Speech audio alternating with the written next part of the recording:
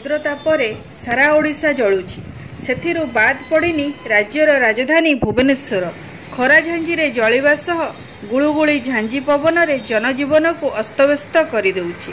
ଦିନ ଏଗାରଟା ପରେ ବାହାରକୁ ବାହାରିବା ବହୁତ କଷ୍ଟକର।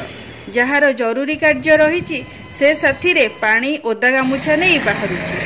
ଆଜିର ତାପମାତ୍ରା ତେୟାଳିଶ ଡିଗ୍ରୀ ରେକର୍ଡ କରାଗଲା ବେଳେ ଆଉ ଦୁଇ ଦିନ ଏହିପରି ଲାଗି ରହିବ ବୋଲି ପାଣିପାଗ ସତର୍କ ସୂଚନା ଦେଇଛି।